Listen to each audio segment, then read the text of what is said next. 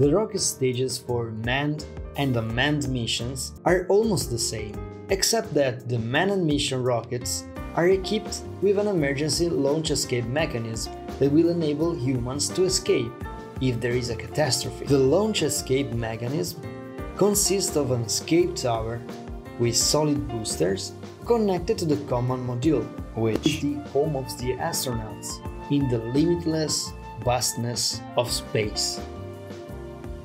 In the hour of an emergency, the boosters pull the command module far away from the rest of the rocket, and the command module then deploys parachutes for safe landing. Some of the modern rockets have modified the escape mechanism by eliminating the escape tower in their design and using the upper stage engine to break away from the rocket in an emergency.